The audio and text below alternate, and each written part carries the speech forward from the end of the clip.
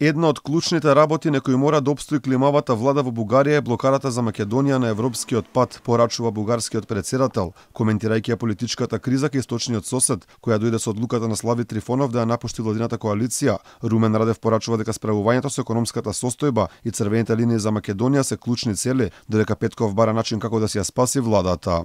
Докато партиите търсят формирането на управленско мнозинство, Кабинетът трябва да осигури социалните плащания и подкрепата за бизнеса, да отстои ветото за Република Северна Македония в съответствие с рамката, прията на Консултативния съвет за национална сигурност и да осигури функционирањето на државата. Додека пораката од Румен Радев и од речи се целата бугарска политичка сцена е јасна, пратеникот нима таков народ Станислав Балабанов објави лист хартија на кој тврди дека Кирил Петков рачно го напишал планот како да биде крената рампата за Македонија, објаснува дека прво би била тргната блокадата, а потоа ќе требало се исполнуваат условите, вели дека со потегот да напуштат владината коалиција спречиле продавање на државата. Идеите е изброил какви са му идеите. Прво, територијални претенции, второ архиви да ги отворат, трето претенции за малцинство.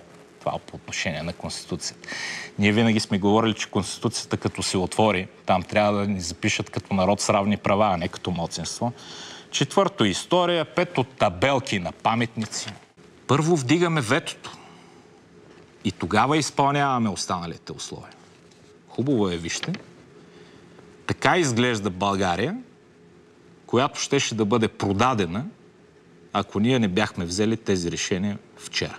Од партијата БСП порачаа дека остануваат во владата и му даваат поддршка на Петков, но и тие порачаа дека за нив црвена линија преку која нема да поминате македонската блокада. Пратеникот Александар Симов вели дека на листот кој го објавил Балабанов не видел ништо спорно. Ние изрично сме казали темата Северна Македонија, вдигането вето наша червена линија. Видях в личното нешто толку осъдително.